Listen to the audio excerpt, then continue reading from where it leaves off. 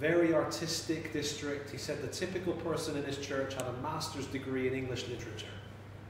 So they used to do uh, evangelistic events or a cello concert. I was like, a cello concert? Who does cello concerts for evangelism? But in that neighborhood, it worked. People would come to a cello concert, you know?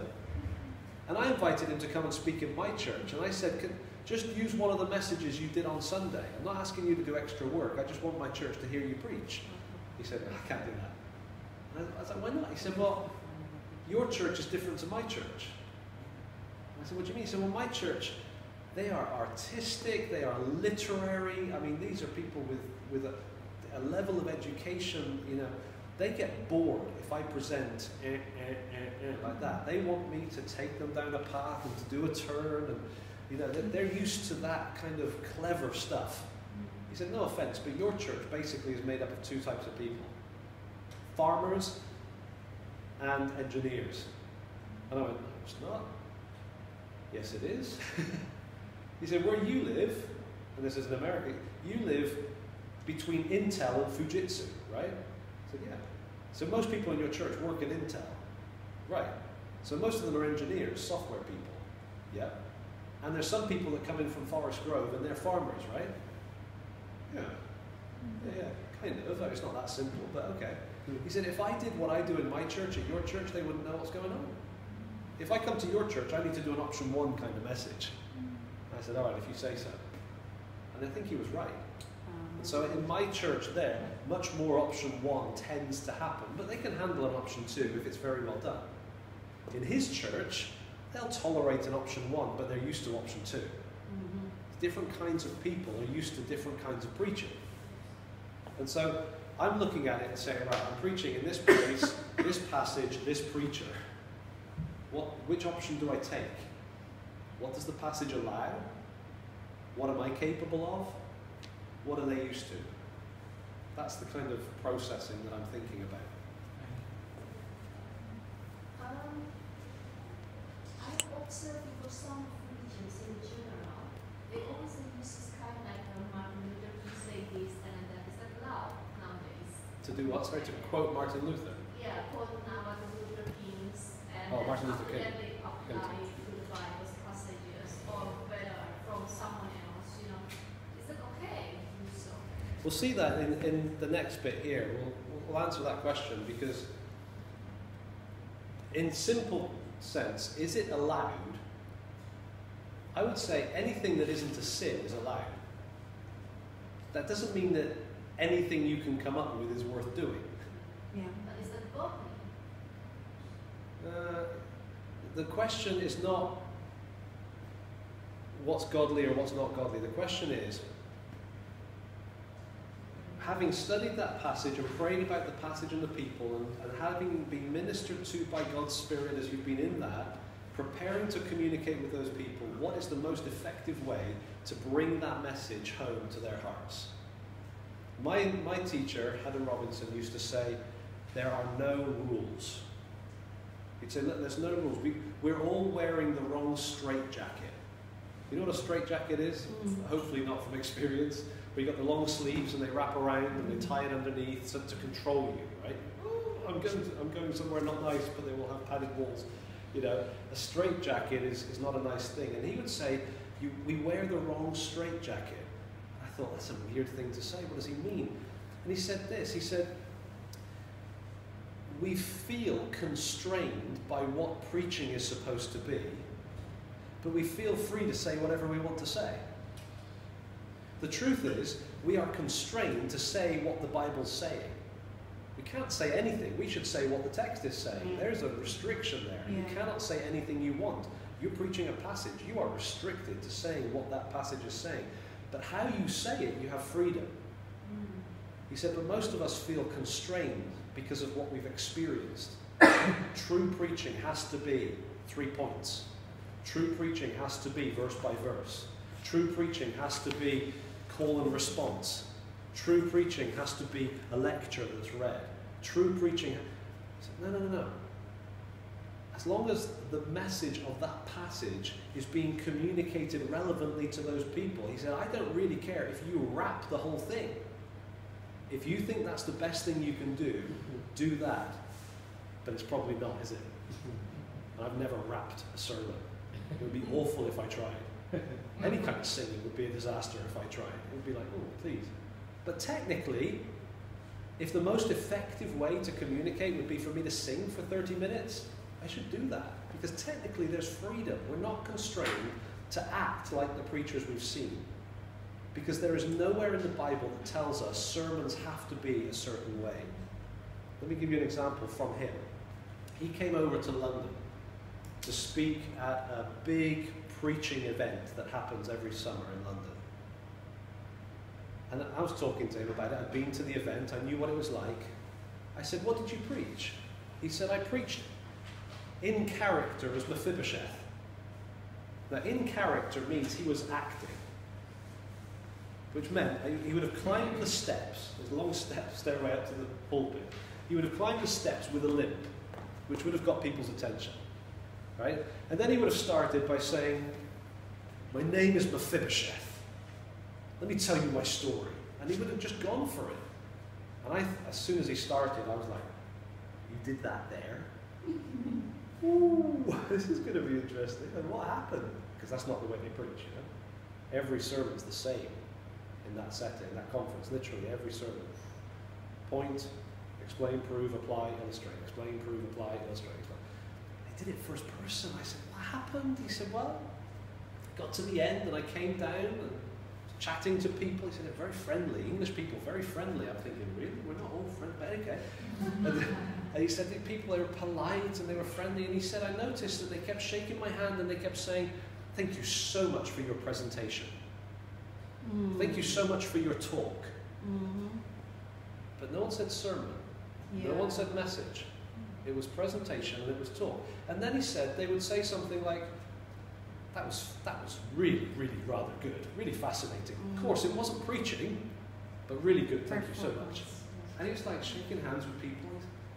What did they mean I wasn't preaching? Mm.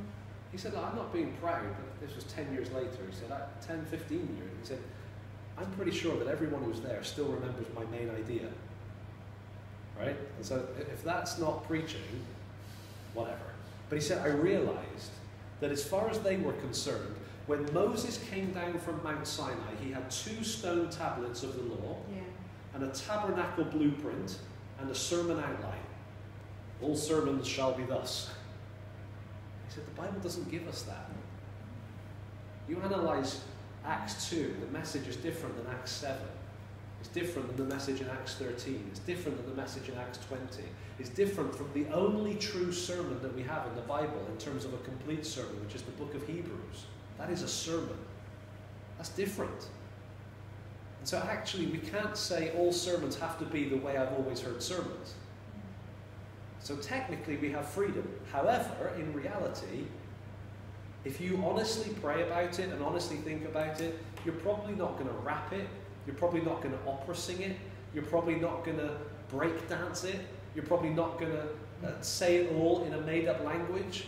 You know, you're not going to do it in Klingon. You're not going to, and there's, all, there's a million things you're never going to do because it's not very effective. And so that brings us back to you, you have an introduction, you say something, and then you conclude. That's basically what happens. But we've got to understand that we get there with freedom, not with expectations that preachers must do this and mustn't do that. And so, for example, could I quote from Martin Luther King? Yes. Could I quote from a movie? Yes. Could I quote from a song? Yes. Could I quote from TV? Yes. Is it the most effective thing to do? That's a different question. Now, for example, could I use a movie clip in a sermon? In theory, yes. I very rarely do. Let me tell you why. The way you remember movies are not the way they actually are. And so you remember a bit in a movie, you go looking for it, you find it, and you find that they swear. You go, oh, if I show that, people are going to be distracted by the swearing. Mm. I can't show that. Mm. So what do you do? You back away from it and you find another way to communicate your point what I tend to do is if it's a movie that isn't controversial, I'm not going to quote from a movie that's like, you know, XXX. It's, you know, it came out years ago. the full Monty or something. It's just like, mm, that's not. Do you know what I mean? Just like, ugh, ugh. I'm not going to quote from something, I'm going to watch it. I'm not going to quote from it. But there are some films that you might watch, but there may be people in your church that don't want their children watching. Mm. Would I quote from it? Probably not. I don't want to create a problem for them. But I'm not restricted so that I can never do it. So Gladiator, I will quote from Gladiator because even though it's got some really gross stuff in it and some heresy, theologically, it's widely known, widely accepted. Saving Private Ryan, I've quoted in sermons because most people have seen it. I'm not giving anything away by, by quoting from it. But I don't show a clip. You show a clip, people start throwing up. You know, it's horrific, the first scene in Saving Private Ryan. Mm. And so you've got to, got to be sensitive. It's not, it's not as simple as godly or ungodly. Otherwise, we only ever quote from the sound of music, but that's got the Nazis in it, so maybe not. Do you see what I mean? It's not that. It's, it's okay. What's going to help? What's going to be appropriate? What's going to communicate? What what can I do here? I quote from Martin Luther. We just had the 500th anniversary of the Reformation. You know, it's a big deal in, in church history. I've, I've used some Luther quotes. There's some wonder. I start the Lost in Wonder with a long quote from Martin Luther. Some of the stuff he said, I totally disagree with. Some of the things he said about Jews were terrible. And so, you know, you've got to be selective, you've got to be careful. But I don't not quote Luther on union with Christ because he said something that was crazy about Jewish people. You know, I, I hope people can kind of get the difference. Did Martin Luther King ever sin? Of course he did, he was a human. But is it appropriate to quote him? Probably, on some things. Significant person. What about a pop star? Sometimes quoting them can really represent the way the world thinks. Mm. But I don't want to endorse everything about their life. Yeah.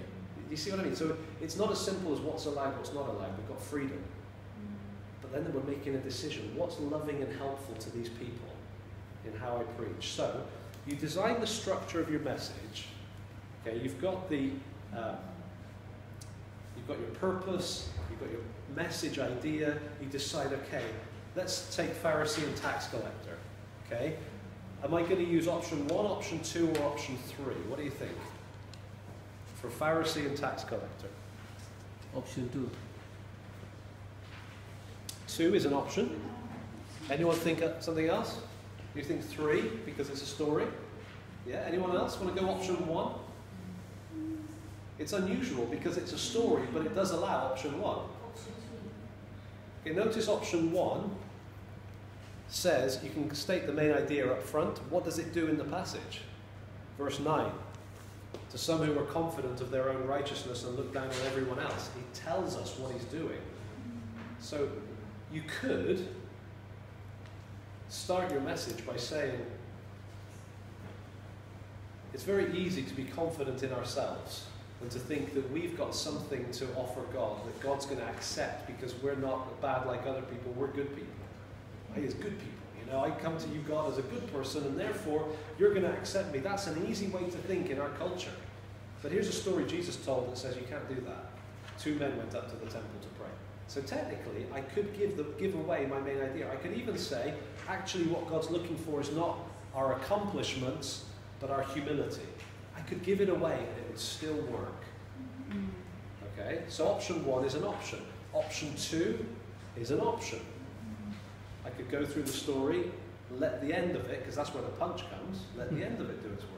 Option three is an option. I could tell the story, make the main idea clear, and then say, okay, back to today. What does this look like for us? Because we don't fast twice a week and give a tenth of all we get. But there are ways that we act just like that Pharisee, aren't there, brothers and sisters? There's ways that we take pride in ourselves. I don't just attend one meeting on Sunday, I come twice. I don't just go to, to the home group on a Tuesday, I go to the early morning prayer meeting on a Thursday and I never miss. You know, there's ways that we can be super spiritual that actually are just like the Pharisee. We can pray the same prayer.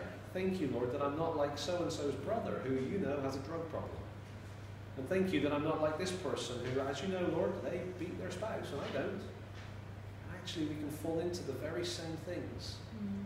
When the reality is we have nothing to offer, nothing to bring, no performance that impresses God, no offering that satisfies Him, nothing. We, we come with empty hands, and the reality, if we could just see the reality of our own situation, is that we're just like that tax collector. And if we could see that, we would beat on our breasts and we would say, God, if you don't do something, I am stuffed. I've got nothing. Do you see what I'm doing? I'm, I'm putting it into today's terms, even if I've already told the story in those terms, historic terms. So actually, with this passage, you've got all three options. Great. Just a question. How would you put the balance in that story? For example, you gave a very I come to church and I go home group and I attend evangelism meetings and I come blah blah blah prayer meetings, you know. But do you think that people could also take that in a own way where I say, you know what, it's no down to attending church and coming regularly to home group, so it's okay. I'm accepted to God. How would you phrase that Yeah. to bring the balance so people are not saying That's it's okay to now start missing meetings? Yeah, because, and that's the thing that actually you're, you're asking a very good question about a very specific passage and a very specific illustration, right? But it's the right question to ask about anything we're going to say. Could this be misunderstood? So I, I might say something like, we have a tendency as humans to take pride in what we do. That doesn't mean that everything we do, we do out of prideful reasons. And so I'm tempted to say to you that you shouldn't take pride in attending every church meeting, even though you come to more church meetings than anybody else. I'm tempted to say that because it's possible that that's very prideful. But I'm going to be careful and not just say that because maybe your motivation is just pure love for God and you just can't wait to be with, with His people worshipping Him. Mm. So I'm not going to tell you what's right or wrong, but God can put His finger on it. And so I might say something a bit more careful that, that somebody who attends every week could be going, I love Jesus. There's no pride, you know. Do you see what I mean? So I, I might say it, could be this, could be that. I'm not the judge. But God's Spirit can put His finger on something in your Amen. life. Amen. You know, you, you may be somebody who, who gives in the collection more than you can afford to give, and God may be smiling on you because it's from a heart of love and trust and it's glorious. But equally, maybe you're giving and you want other people to see it, or even if they don't see it, you just feel good because you're achieving something. I can't tell the difference, but God can. Mm. And so I, I might give people the, the two options so that people don't feel guilty giving and guilty attending, or free to not give or free to not attend. You- You see what I mean? I'm thinking, how could this be misunderstood? I better state that carefully.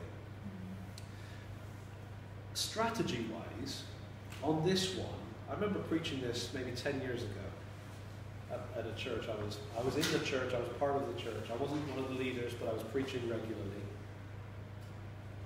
And I, I thought about these strategy options, and I, I felt like I had a problem. My problem was this is a church that knows its Bible. There's no tension in this story because they know the story, Mm. right? They know how it ends. And so I, I wrestled with that, and I thought, do I do I give the main idea early? Do I give it late? What do I do? However, I looked at these three options. I knew that the moment the story was read, tension was gone. Right? Mm. And so I said to the person leading the service, I don't think it was me, I can't remember. If it was someone else, I told them if it was me, I told myself, don't read the passage before you preach it. Normally you have the reading first, I'd give a different reading, a Mm. psalm or something different. Because I don't want this passage read until I've had the opportunity to create that impact. Yeah. So let me tell you what I did. I, on this occasion, I don't think I've ever done it again for any other passage, but on this occasion, I felt like the power of verse 14 was so important that I didn't want people to miss it. I wanted them to feel it. And were there people in the church who, if they felt it, needed it? Yes. So I decided, and this is not any of those options, I decided I'm going to recreate this parable in my introduction before I actually preach it. Now, like I said, this isn't normal strategy, but it's me thinking, how can I get that impact Because verse 14 is like a punch in the stomach, isn't it? If you really understand what's going on. Do I just explain my way through it and then really try to get people to understand the force? Or do I do something so that they feel it? And I decided, I'm not saying this is right, but I decided to tell the story in modern terms. So that the force could come out and then I could go back to the passage and show where I got it from. Like I said, I've preached hundreds of times, never done this again. But on this occasion, I thought this is a strategy that I think is, is potentially a good one. I prayed about it. And I thought, okay, two men went to a church prayer meeting. Eh. you imagine? I want to tell you a story. Two men went to a church prayer meeting. One of them was a mechanic. I mean, I'm already bored of it myself. like anyone in the church who's ever read this story would go. And so I thought, no, I need to hide it a little bit. so I told a story, and I said there, were, there was a family with a son and a daughter, brother and sister, grew up in the same home, but their lives became very different when they got older. The daughter was uh, married to a good guy, had children, they were involved in the church, and she was involved in committees of the church and in the choir of the church. She was involved in everything. And the brother, he got in with the wrong crowd and, you know, kind of got mixed up with drugs. And, and so I'm kind of spill, spilling out this story. Mm. Nobody's thinking Luke uh, 18. They're just thinking this is a true story. Yeah. Never said it was, but you know, they're thinking, oh, that's interesting. and I kind of thinking this thing through, okay, how can I get them both praying? you know, can't have them both go to a church prayer meeting. That's weird. So, so I, I just threw Christmas in there, you know, just to keep people off the smell of the story. So, you know, spill out both lives a little bit, and then I had them both pray. And honestly, people didn't know what I was doing. I said, uh, Christmas came. And the husband had carved the turkey, and the food was on the table, and the family was gathered around the table, and uh, they, had been to church, and just, I mean, it was it was magnificent. And the the, the, the mum and the family, the sister of the two, she she prayed, not out loud. I it was a quiet moment, and she prayed inside, and she said, "God, thank you so much that I'm not like my brother. What a mess he is." Mm. Thank you for my church and how I can be involved in that. And thank you for my family and how good they're turning out. And thank you for this and thank you for that. And I, Lord, in case you haven't noticed, I, I gave extra this month, even though the spending was high. I gave extra in the collection. And, and I just kind of spilled it out a little bit, you know, spun it out. And, and then I said, you know, at the same time, on the other side of town, her brother was in a, in a squat. He was just sat on the floor on this cardboard, a bit of cardboard. He was just sat there with his head in his hands. And he'd come to the end of himself. He had no money, he had nothing. He looked at the track marks in his arm, he, he thought about his life, and, and for the first time in years, he prayed. And his prayer was very simple. He said, God, if you don't save me, I've got nothing. I need mm. you to do something, please. If you're there, if you can hear me, do something. Would you? Amen. So uh, fast forward. I didn't want to explain and justify things, so I put it in the way we think, you know. So fast forward. Years later, they're both dead. They both stand before God. And their eternal destinies are determined. The brother went to heaven. The sister didn't. Literally, the whole room was like, it was awkward. It was like, Ooh. See, that's, that's quite a story, isn't it? Mm. I, I made that up, but let me tell you another story that says the same thing. Turn with me to Luke 18, because this isn't my story, this is Jesus' story. And I went back to Luke 18, and then I preached it. Mm. And I was able to say that what you felt when he got to go into heaven and she did not is what they felt when the tax collector went home justified, but not the other man. That's a shocker, isn't it? Yeah. And the reality is that we don't get saved by our church involvement and our performance in life and the success of our kids and the beauty of our home. None of those things add up to salvation, do they? We all know that. But we can fall into it. And the truth is that we have to come to God with an attitude that says, God, I need you because I've got nothing. Just like the tax collector, just like the brother. None of us have anything to impress God with. And the truth is, we need Him to make a sacrifice for us. And He has done that. And that's what we're going to celebrate as we take communion, how God gave his son to be a sacrifice, to die in our place. And you know, so you can imagine the message, right? Yeah. That, that was my strategy choice. It's just a decision. I'm not saying it's the right thing to do. But it was interesting. Several months later, I got a phone call from one of the elders, and he said, Would you come over to my house? I want to talk to you.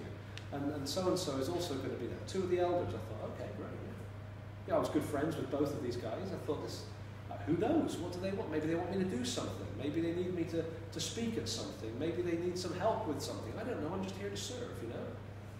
And I went round to their house, and, and they said, Remember the message you preached from Luke 18? I said, Yeah. Last July? Yeah, yeah, that's right. Some people were offended by that. I said, Good. They said, wait, what do you mean good? I said, Well, I don't know, I could be wrong, but it's an offensive passage, isn't it? And if the people who were offended by it were offended by it because they're relying on their performance to get into heaven, I'd rather offend them than leave them. Mm. We talked and it was like, yeah, but you've got to be more careful, you shouldn't offend people, you know, everyone needs to be happy. And I was like, oh, I'm not sure about that. I mean, these are elders, so I wanted to be submissive and I was like, look, I, seriously, I'm going to take what you say, I'm going to pray about it. I'm not dismissing what you're saying, but let me ask you a question with all due respect. Are the people who are complaining people that might be trusting in their own performance. And they, they said, well, actually, that could be true, but you still need to be careful. I said, okay, I'll pray about what you said, but, but honestly, I, I don't regret it. Mm. Difficult conversation. I wanted to honor the elders. Don't go destroying elders, right? but I think I, I don't feel guilty about that message Yeah. because that's what the Word of God does. It just penetrates. Yeah. And so that was my strategy decision was to, to recreate the force so that they could feel it because I couldn't find any way to do that if I started into the passage first. The moment I say two men went up to the temple to pray, ah right, yeah, the Pharisees going to go, yeah, yeah, yeah, yeah, yeah, yeah, go on then. And people know it. Yeah. And so that's, that was my choice. I'm not saying to copy that. I am saying if you do that, get ready for a reaction. you know, I actually Amen.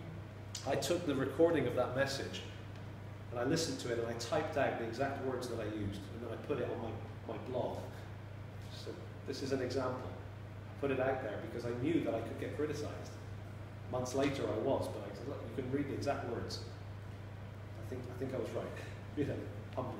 So that's shape strategy.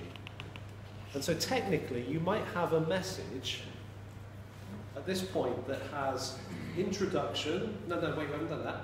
You have main idea, and you have some points, or you have tell the story, main idea, and some applications. You still don't have a message. You still need an introduction, you need a conclusion, and you need the stuff that goes on to it. It's like a skeleton, right? Mm. You've got the bones, but you need the flesh. And so stage eight is to add the flesh to the skeleton the message details. And I'm not going to go into massive detail about the details, but let me just say a few things and then we'll take a break. Obviously, if you're if you're teaching a Sunday school class, the same principles apply, but you're not just going to talk for 45 minutes. Right? You're going to tell the story. How are you going to tell it? Maybe you get them to act it. That works really well with kids, you know, or youth group, get them to act it out, ask them how they're feeling. You know, how does that prayer that this guy just prayed make you feel? You know, how do you feel about his prayer? And what do you think God is saying about these two prayers? I mean, you can, you can make it very interactive, which you can't really do when you're preaching to 200 people, right? So there's, there's, there's freedom. You, teaching kids, you might say, right, we've, the story's going to take 10 minutes. I've got 45 minutes. We're going to do a game. I'm going to give them some sugar, you know, because that always helps, doesn't it? But I'll do that at the end so the parents can deal with the consequences. So I'll, I'll, kind of promise them sweets if they listen well or something. You know, you have all your strategies for Sunday school, but you're still going to tell the story and you're still going to help them to see that it's relevant. So you're still doing the same stuff. But what if you're preaching and you've got that time, 30 minutes, I don't know how long you preach for in your church, two and a half hours, whatever. 45 45, okay, hardcore. So you've got your 45 minutes, and you've got your structure. You could say that with your main idea in two minutes. What are you going to do for 43 minutes? how do you fill it out? Uh, that's only really a problem if you're not used to preaching. If you're used to preaching, you know the problem is how to fit it into 45 minutes, not to fill it out to 45. But anyway, was it? I think it was Spurgeon that was asked. He was a preacher in South London in the 1800s. Um, how long do you need to prepare a sermon? I don't know if it's Spurgeon. He gets credited with everything. It may not be Spurgeon, but let- let's say it was. How long do you need to prepare a sermon? He said, if you want me to preach for an hour, I'm ready right now. If you want me to preach for half an hour, I need a few days. If you want me to preach for 10 minutes, you've got to give me a month. it takes time to get tight, you know. Mm-hmm. That's not a problem, waffling and filling time. Mm-hmm. The problem is to be precise when you've got a short mm-hmm. time. Anyway, look at page 7, message details. Have you heard the language or the word illustrations? Yeah. Yeah, that's familiar language for preaching, teaching stuff. I don't like it. I don't want to be fussy, but I would love to take the word illustrations and just get rid of it. Because illustration doesn't say anything. Illustration, what does it mean? It means something different, something helpful, something engaging. I, I don't know what it means. It's too. All I know is that we all are told you've got to use illustrations. But I'm unclear what an illustration is. I'd much rather use a description of what I'm trying to do. And what am I trying to do when I'm communicating? Basically, I'm trying to do one of three things. Let me illustrate that. Let me show you what I mean by that. Actually, I won't use the word illustrate. Let me explain that. If I say to you a statement, I want you to ask me questions about what I'm saying. You ready? There's only three questions you can ask. Don't worry about that. I'll, I'll, I'll help you find them. What's today? Saturday, right? The weather is going to be nice tomorrow afternoon. Ask me a question. How do you know that? It's a great question, mm-hmm. right? Are you going based on, you know, a fortune teller or a weather forecaster or, you know, the weather app on your phone or are you into, you know, how do you know? So there's different ways of asking, but basically that's one of the great questions. How prove it? Where did you get that information? Same thing. Prove it. Is it a trustworthy source? Because if some kid on the street, as you were walking here, said, "Hey, bro, there's going to be nice weather tomorrow," woo, and he's on drugs, it's not very trustworthy information, right? But if the Met Office has told me, "Wow, there's you know, high pressure system coming in from the north, whatever," you know, okay, that's good information. I trust that. So Yeah. prove it. Can we trust it? What else could you ask about that statement? Yeah, so why are you telling us this? What difference does it make? Are we going to have a picnic? Are we going to have a game of football or cricket? Or, or like, what's your plan? Like, what's, Yeah. So what? What difference does it make? What else could you ask? What would be nice? So again, oh, What country?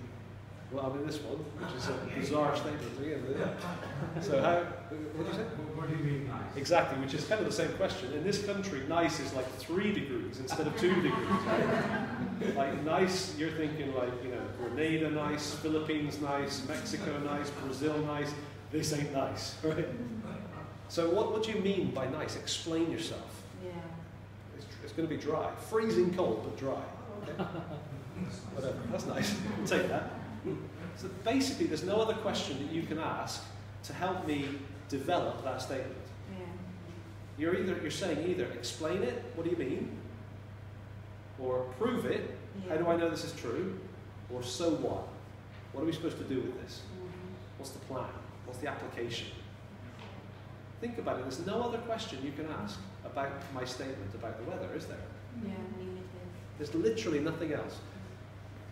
This is almost like a trade secret. Once you discover this, you go, oh my goodness, communication is really kind of simple. Are you saying that at any point in time, We've only got three options. Yeah? Or change the subject. That's the only option. If I'm talking about something, to develop that, I can either explain it, prove it, or apply it. I can restate it, but that's not developing it. My only other option is to do something else. Hmm. On Monday, the weather's good. so I give something other information, then the questions come again. Explain it, prove it, apply it. Hmm. Now, if that's true in conversation, that's also true in every Bible passage you read. Hmm. Every Bible writer at any point in time is either explaining or proving or applying or moving on to a new subject. It also means that when you're preaching and teaching, at any moment in time, you're either explaining, proving, or applying. Which means that we don't need to use the word illustration. Instead, we can say an explanation, a proof, or an application. And that's a much better question to ask because when I'm thinking about preaching, I'm thinking about those three things. Let's say that I'm telling the story of the Pharisee and the tax collector. I could just read it and say, there you go. Got it? Ooh, they won't get it. What do I need to do? I need to explain some of what's going on here. So there has to be, even within the telling of the story, some explanation.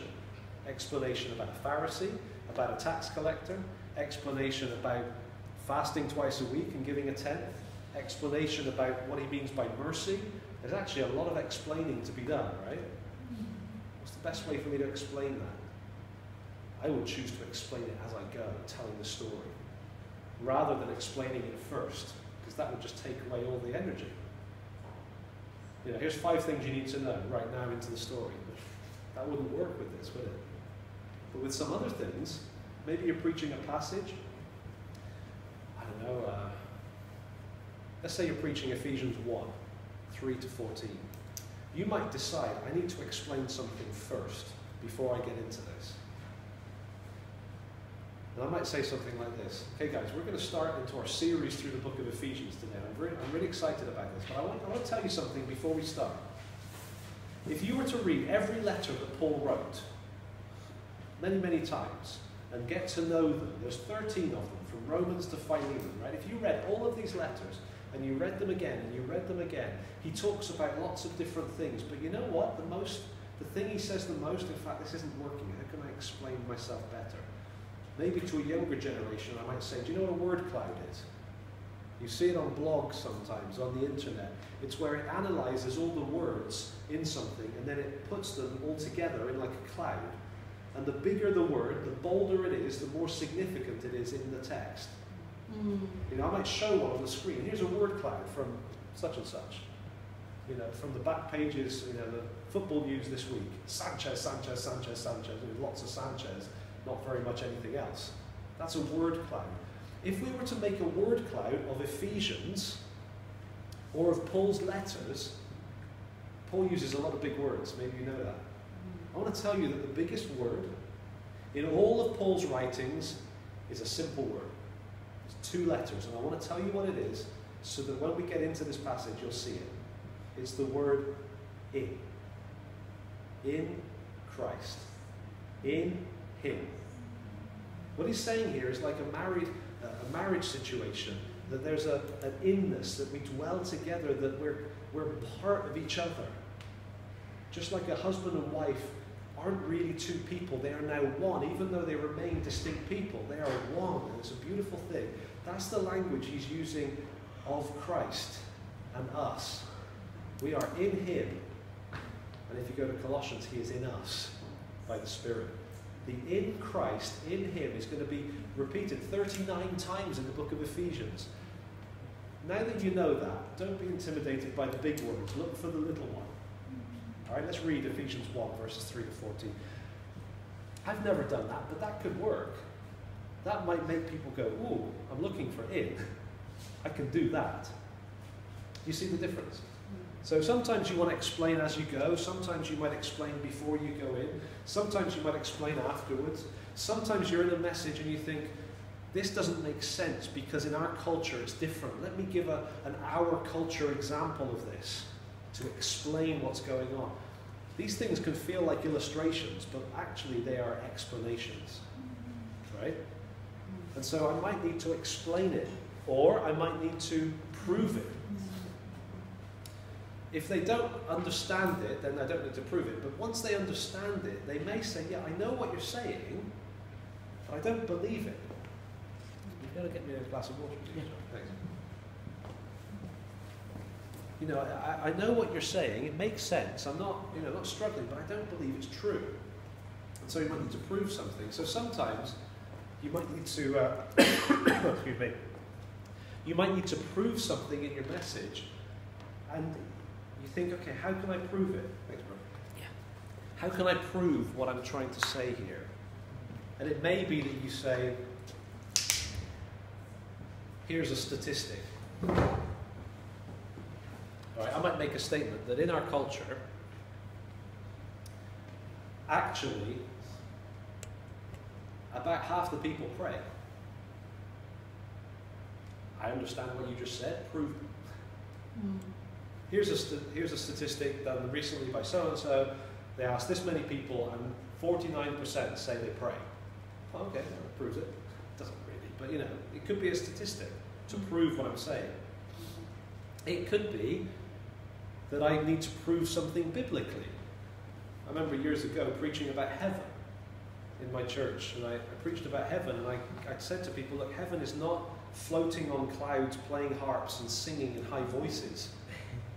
That's our, our image of heaven. I was tempted to use a clip from Bruce Almighty, the white kind of factory scene. Couldn't use it. There's no appropriate scene in that film in, for a church, but I tried. But but I was trying to say to people, look, heaven is not. It's not like mm, actually our ultimate destination is the new earth. The new heaven comes down onto the new earth. The new Jerusalem comes down. Creation, the new creation. We're, gonna we're gonna enjoy food. We're gonna enjoy sport without sin. We're gonna enjoy working. We're gonna enjoy meeting together. We're gonna enjoy learning and discovering and all of these things. And I was making a case for our ultimate home being a renewed version, a better version of this. People understood what I meant. I just didn't believe it was true. And so I said, "Look, hang on, let me prove this. And so I used PowerPoint, I often don't, but I used PowerPoint and I said, look at this verse, look at this verse, look at this verse, look at this verse. And I used about 10 verses from the Bible that speak of heaven in very on earth terms. Yeah. And after that, I was like, huh, I need to rethink my view of heaven because the Bible proves it. Mm. Do you, you see what I mean? So proof could be a statistic, it could be a quote from an authority figure. You know, you might not believe me when I say it, but even Oprah Winfrey says, you know, it's not the best authority for anything, is it? But, you know, I might use a popular authority, not so much about the Bible, because I really don't care what she says about the Bible, but what she says about people might be very accurate and it might be trusted. So I might use a quote from somebody that isn't even a Christian because what they're talking about is relevant to what I'm saying. Um, you just mentioned that heaven is not playing a harp or something like that. But what about the angels that are playing harp there, day and night and worshiping God? Yep. So there is still a truth about that. Yeah, yeah, playing yeah. harp. Yeah, I'm, I'm just giving a glimpse into a much bigger message where I did explain the spiritual heaven and the throne room of God, as well as our ultimate destination being on the, the new earth. So, yeah, you're right, there's more to it. I'm not, don't take my little snapshot and say heresy. I'm just giving an example of, of the whole thing. There's one preference. Yeah, yeah, because you're right, there is a heavenly reality that is the throne room of God.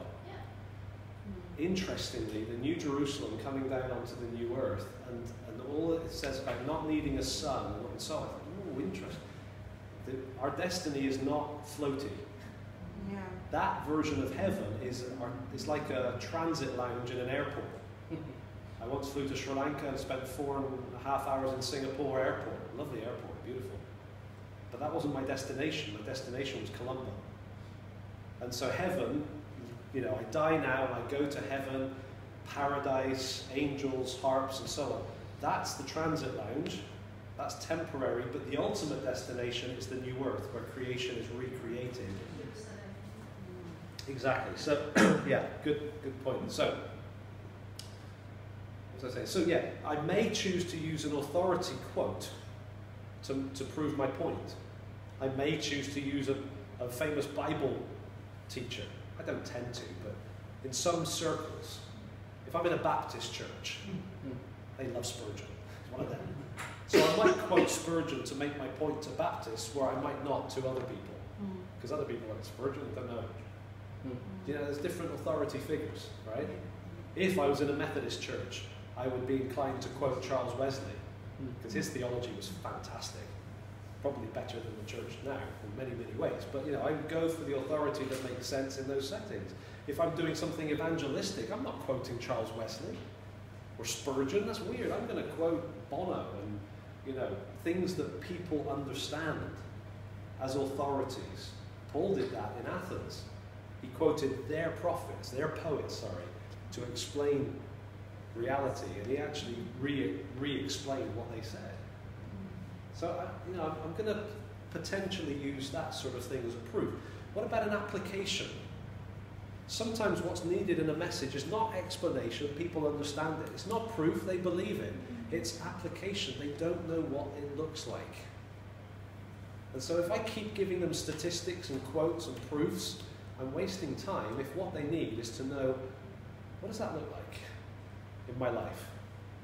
That's, a, that's an application. Mm. And so actually there will be times where in a message I'll say, okay, for example, when you walk into the coffee room and everyone goes quiet because you've entered the room and it feels really awkward and you're not sure what to say, here's what you might do based on what we've seen. And I describe it. okay, or you may be the, the most patient person in the world. But if there's anything that bugs you, it's this, which is usually a sign that there's an impatience problem. It's when you're driving and someone cuts in in front of you, and suddenly you're angry. Hmm. You know, or what do you do then? Here's how you can respond to that situation based on what we've seen in the Bible. Here's, you know, so it, sometimes that is what's needed, an application. So you see how I think it's helpful to stop saying illustration because an illustration doesn't mean anything, and think explanation, proof, application. What do I need at this point? What, what will help people understand and apply this passage in their life? So Pharisee and tax collector. Explanation that's needed, we've talked about that, some of the cultural bits. Mm. What proof might be needed as I preach that? it may be that I need to prove the point of the passage, which is we are not saved by our performance. Why? Because everybody thinks we are. So if I'm preaching this evangelistically, I might have to explain or prove that a little bit more. You know, this is actually the message of the whole Bible. You, maybe you're here thinking the Bible is instructions for living. Maybe you've even heard somebody say it's basic instructions before leaving earth, Bible. And you think this is the owner's manual, and if you do what it says, then you will be saved. But I want to tell you that's never been the case from cover to cover. We are not saved by God based on how good we are. And I might go to a couple of other places to prove it. Or I might just need to explain that the whole Bible is saying the same thing that God gives us righteousness, we never earn it. You see, there's different ways to, to prove it, but if I don't prove it, somebody may understand what I'm saying and maybe even know what to do with it, but they don't believe it. Because they know, everyone knows, God judges us good versus bad, right? Everyone knows that. We've got to overcome that. So I may need to do some proving on the main point or application. So what? Where does this show up? Just at a prayer meeting? No, it shows up every time I look at somebody else and compare myself. What areas might we compare ourselves with people? When you hear bad news and you think, well, I wouldn't do that. Or when, when you think about your relative who had the same upbringing as you, your sister, your brother, and they've gone crazy and your life is good, and you think, well, I'm not like them. And so maybe we want to put some specific examples in place for where we might say, I'm not like that person. God must be pleased that I'm on his side. And so I look at my message, I've got my, my points, my story, my main idea, my application section, whatever I'm doing with my message, and I'm looking to say, okay, what do I need? Do I need explanation? How can I achieve that? Do I need proof? How can I achieve that? Do I need a- uh, application? How can I achieve that? That's basically what I'm doing to put flesh on the bones. Right? I don't, I'm not going to waste my time explaining something that people understand. I'm not going to waste my time proving something people believe. But if I skip it and they need that, I've lost them. So explanations, proofs, applications. Notice that diagram. I know it's impressive, isn't it? Those two circles. Astonishing level of art on page seven. Those two circles I find quite helpful. You've got a circle that represents the life of the speaker, and you've got a circle that represents the life of the listener, and they intersect. You see that? Yeah. Notice the numbers. One, two, three, four. What that's saying is that if you can come up with an explanation, a proof, or an application that is a number one, it's going to be better than a number two. And a number two is going to be better than number three, and a number three is going to be better than a number four. Let me explain that. If I'm talking about anger, response to anger, if I'm, I, I look at my own life, where might I get tense? Honestly, probably two places that, that really come to mind, actually three. Um, there's, there's border crossings or embassies, you know, where you're out of control and they've got all the power. I can get really tense. There's driving. This morning I was driving, his motorbike came up behind me and flashed his lights, and I was like, calm down. And then I came behind this car, and went, he's going too slow. I start flashing my lights. Like, oh, what am I doing? you know, it's like, why, why do I get so agitated by that? And I was the first here anyway, apart from Johny. So like, what's the pressure? But you know, I kind of feel that way. And then there's the third category, which is sometimes when I'm talking to my wife, I get really tense. It's not her fault. It feels like it, you know. and so there's honestly those are the areas, and so I'm thinking about those, and I want to use an illustration, whatever it is, explanation, proof, application of anger. If I can use one of those, it's going to be automatically either a number one or a number two, because it's in the circle of my experience. Mm-hmm. Right? That's that's going to be better than telling a story about an Australian man who got angry because someone tried to steal his boat. That's a number four. I'm not Australian, no one's tried to steal my boat, nor are you, nor have they, right? So that's distant. So a one or a two, that's those are those are three good options. But then I'm thinking about you and I'm thinking, okay, what was my order? Border crossings and bureaucracy. In an international group, probably. In fact, that might be a good one for a group like this. Because anybody here ever crossed a border into a different country?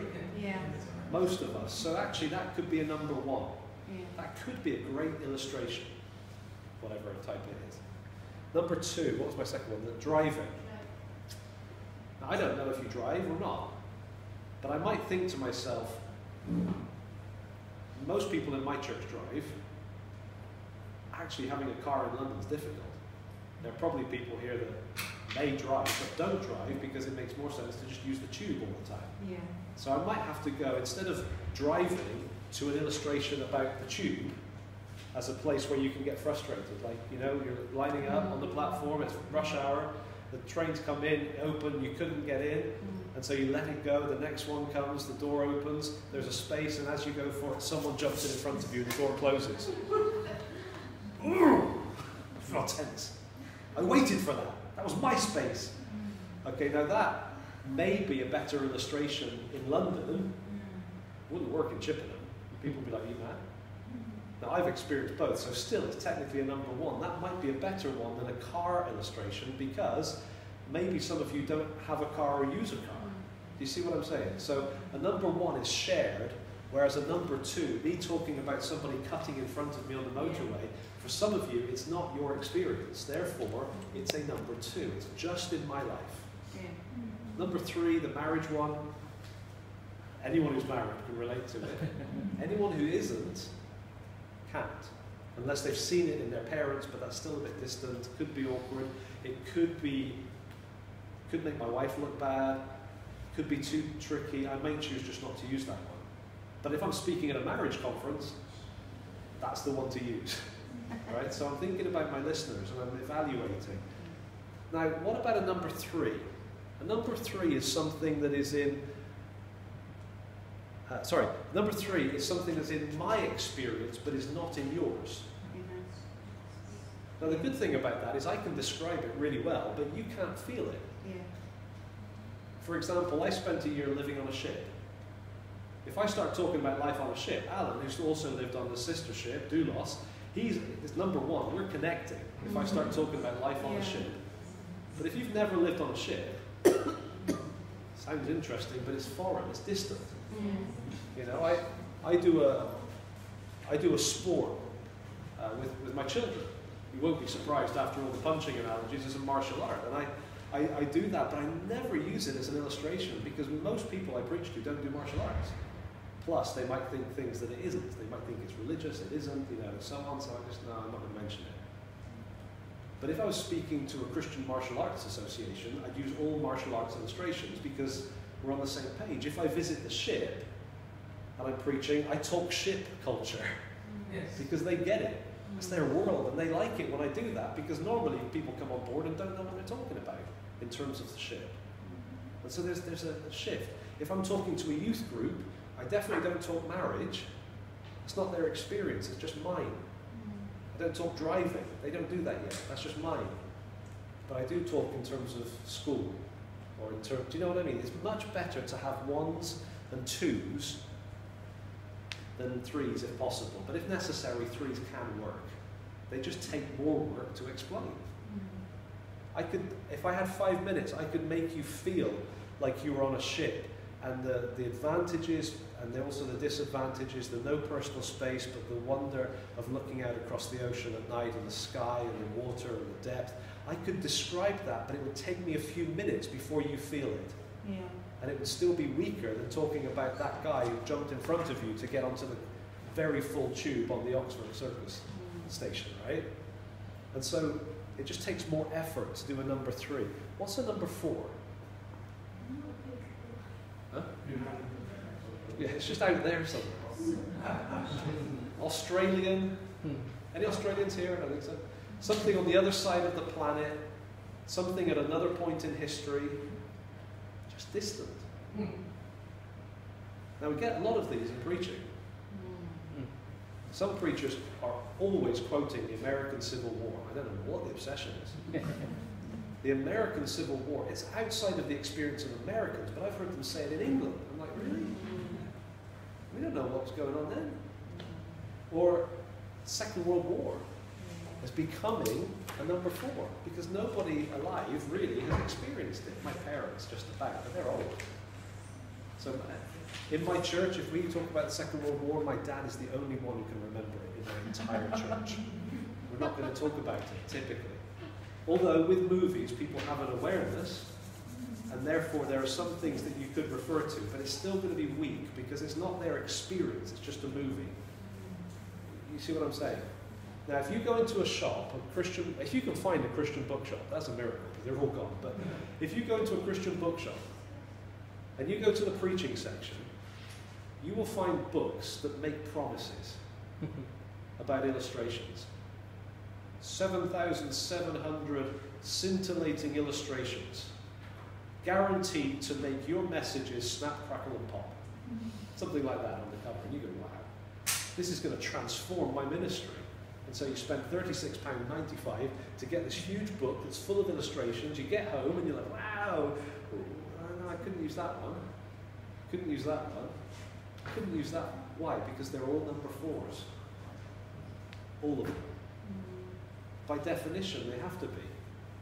General Eisenhower said to his troops, it's a great quote, but it's a number four.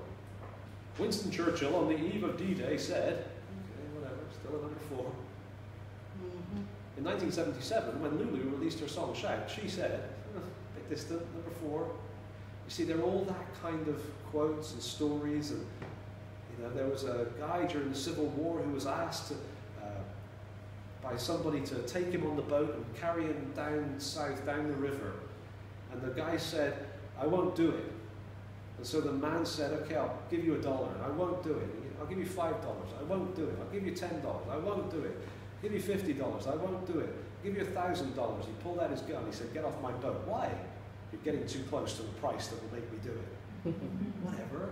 It's kind of interesting, but it's not brilliant. It's not Mm. gripping. It's just kind of anecdotes. Yeah. Do you see what I mean? And I, I, honestly, there must be exceptions, but generally speaking, I would say don't waste your time trying to come up with little stories to make your sermon interesting. Much better to think, how can I explain it? How can I prove it? How can I apply it? How can I do it in such a way that my listeners can understand what I'm saying, or even better, can see what I'm saying? Some years ago, I was invited to speak at a preaching event. Now that's intimidating. That's worse than a church, right? A preaching event is where people come to kind of go, ooh, it's a preacher. Right? Now the awkward thing was, I was not the guy they invited. My friend was. But he couldn't make it, and so he suggested me. They'd never heard of me.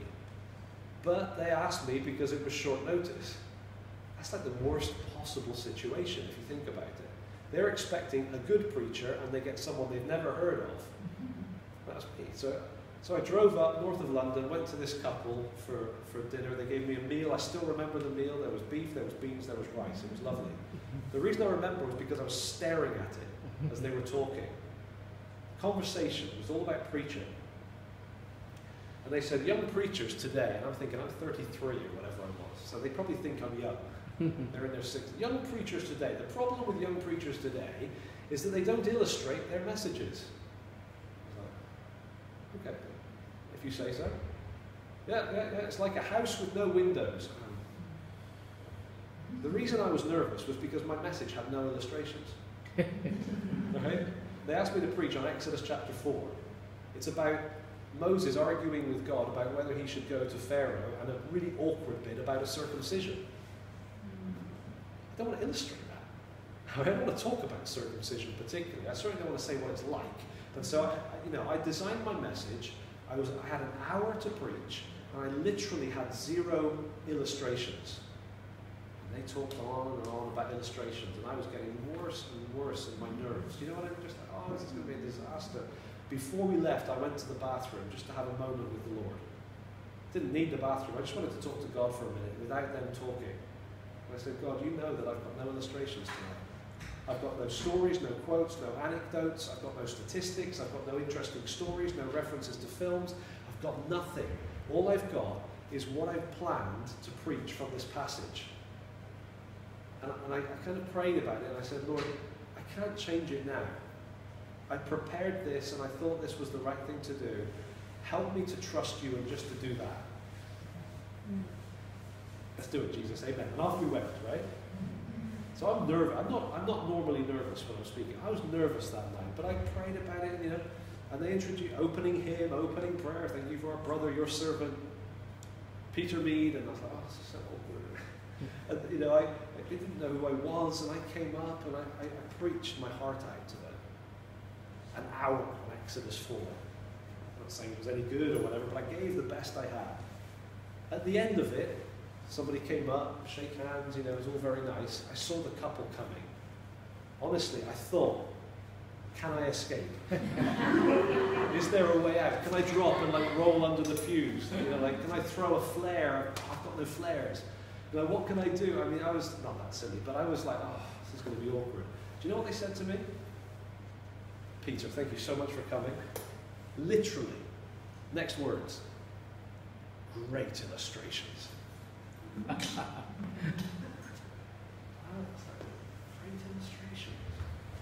I was tempted to say, What are you talking about? I didn't use a single one. But I kept listening, thankfully. Sometimes it's better to be quiet, right? I kept listening. And they said, Yeah, the way you preached, you just made it come alive to us. It was like we were there. And, and that was a really important moment for me because I realized that actually, what people want is not illustrations. What they want is to see it. They mm. want to experience something. And so I, I, I developed the analogy that I still think of today that in the hearts of your listeners, whether they are three year olds, seven year olds, or 77 year olds, there's a cinema screen, mm. right? Like a movie screen. And it's got smoke over it, there's nothing there. Mm. And if you just give words and theory and principle and truth and theology, it's just words. But if you can paint a picture, if you can describe so that it comes alive, so that they start to see it in their hearts, they start to imagine these two men in the temple, one there, one there, one up, one down. If they start to see what you're describing, it's the same effect as watching a movie. They start to participate. Mm. You ever felt like you're in a movie? And you, you, you find yourself wanting things to happen that you know shouldn't. Classic Hollywood trick, because it's gripping. Let's, let's use the boxing one one more time. Any guys here prepared to be honest and admit that when no- one else was in the room and Rocky was training, you started moving? Anyone here try the one arm push? Because movies grip us. Ladies, that's an insight into your, your men. We, we all pretended that we're Rocky at some point. okay, when there's a story presented, we engage. And so, therefore, when you're preaching, if you can present, not just explain, but, but tell the story vividly, help people to feel it, they will, they will be drawn into it, they will experience it, and because they've seen it, they will think you've used illustrations. That's what's happening with that couple.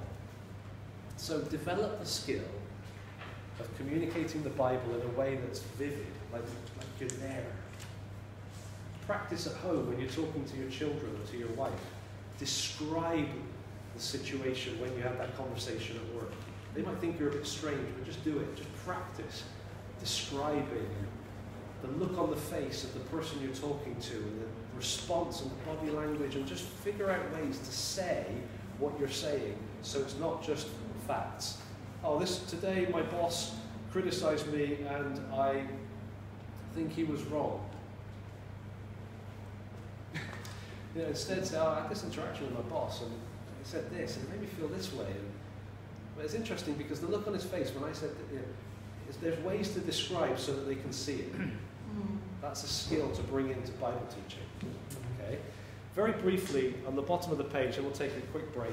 Craft a compelling conclusion, design an inviting introduction. I'm not going to say much about that. Basically, conclusion, figure out how you're going to finish before you start preaching. Don't try to figure it out while you're preaching. If you try to figure it out while you're preaching, it's like being in an aeroplane that's trying to figure out how to land. Have you ever been in a plane? I saw lots of planes today. When a plane comes down, a good landing is approach the runway, land, stop. Perfect. A bad landing is when the plane comes down and then says, uh, no, I could do better. And goes out and comes back again. And tries again and oh, almost touches down. No, no, no, no, no, let's go up again. If you've ever been on a plane that's done that two or three times, you know what you're doing? You're reaching for the paper bag, right? It's always written in multiple languages, like you need to know what it is. It's like, okay? Because a plane that doesn't land is really frustrating, and a sermon that doesn't finish. You can have an amazing sermon and then do a circled landing and lose all the power of it. Figure it out ahead of time what you're going to say, how you're going to finish it, and put it down and stop. That's a good conclusion. I won't say anything more because of time. Introduction. In your introduction, however you can, your job is to make the people want to hear you, hear the message, and hear the passage. Somehow you need to get those three things across. So be friendly, don't be rude. If you're a guest, say, so privileged to be here today. Thank you so much for inviting me. If you're in a foreign country and you just landed the day before, say something nice about their country. Say the three things again, please. You, Make the Your people message. want to hear Message your passage, make people want all three of those. So you be friendly, make the message sound relevant, make the passage sound like it's going to give them something they need. You know, so if, if I landed here from America yesterday and I said, hey, this is my first time in England. My goodness, it's cold. And I hear your food is terrible. Let's go. You know, everyone, you know, some of you not even English, you'd be offended by that. Yeah. It's like, how rude. Much better to say, wow, I have always wanted to come to this country and I have been so kindly welcomed. Just thank you so much. Let's, let's look at this. You know, just something, be friendly. It's like my dad with a dog. You know, dogs know when they're not loved and so do people. So just, you know, start, start warm, start with a smile. Give them something that makes them motivated. And by that, I would say don't just jump into the passage. We have this tendency in preaching to start with the reading. Boom. Mm. 1 Kings 18, verse 1. Now the Lord said to Elijah, people are sat there going, Oh, I've got bills to pay, my back is hurting, my child is rebelling, my boss wants to speak to me tomorrow, I can't afford to buy my wife an anniversary present, I forgot her birthday. this is where people are at, right? Real life. And we start saying, The Lord said to Elijah. They don't care. But what if you say to them, you ever feel like life is spinning out of control? You ever get that feeling that no matter what you do, you can never catch up? Like, just there's just too much, and the days go by too quickly, and your to-do list is worse at the end of the day than at the start of the day, and it feels like everything's getting out of control. If you ever feel that way, you're going to want to look at this passage with me because it's going to tell us something we need to know. Suddenly, Yeah. people are trying to grab their Bibles. Go on, then where is, where is it? What's the passage? What's the passage? That's exactly how I feel. You haven't wasted 20 minutes, you've used 30 seconds, but it's made them hungry for the Bible and for the message. That's a good introduction. My teacher, when I was at Bible school, we would have to preach in front of him. He had this habit of interrupting people while they were preaching. Already we're thinking this is the best preacher in the world. Like he's really an impressive guy. We were intimidated. Imagine how you'd feel. You spend your whole week of study and your weekend preparing to preach, and there he is sat at the back. You try not to look at it, but that's Haddon Robinson, and oh my goodness, and there's all these other people, but they don't matter because he's there, and you know you've got all this pressure. And so you launch into your message and you give your introduction, and as you finish it, he goes, wait, wait, wait, wait, wait, stop there, stop, stop, stop, stop, stop. And you think, oh, I'm going to die. I mean, God's more important, but He's right there, right? That He's going to He's going to criticize me. He's going to stop me. He's not going to let me finish my message. And you know what He would do every single time He did that? He would say, "Hey guys, I just want I'm just wondering, does anybody want this message to continue?" Literally, everyone in the room would go, "Shh, let him carry on. Haven't stop him," because he would only do it with a good sermon. He never did it to a bad introduction, because we'd all go, Let's finish. Let's just stop. He'd do it with someone that had done an introduction that was so good that we were desperate to hear the rest of the message. Mm. Does that make sense? A good introduction makes people want you to keep going. Amen. Whatever it takes, do that. People will keep it. With kids, with whatever situation. A good introduction, a good conclusion.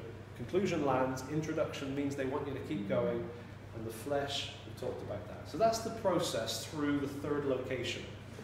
Okay, so so far we've been in the study. What does this passage mean? Lord, speak to me, help me to understand it. I'm wrestling with it. We stop and pray, Lord, here's my understanding of the passage, and here's the people. Give me your heart for them. Mm. Location three, Starbucks, in theory, right? Earphones in, but you're thinking, what's going to communicate? How can I make this effective as I communicate this to the kids on Sunday, or the youth on Wednesday, or the church that I'm a guest in, or the church that I'm a pastor of? And you're preparing and planning your message, the straight structure, the shape, the, the kind of illustration, but forget that, explanations, proofs, applications, you're planning the whole thing. What's left? Location four, stand and deliver.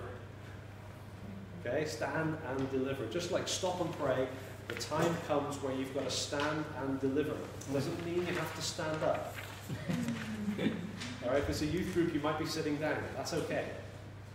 Right, if I'm teaching three-year-olds, it's not a good idea for me to stand up. They will scare scare them to death. It's like, whoa, there's a long way up there. but the principle is there comes a point where you're standing to deliver, right? And so after the break, we're going to talk about how to effectively communicate. And hopefully, what we talk about, you'll say, yeah, you've done that today. And you'll have been learning it all the way through.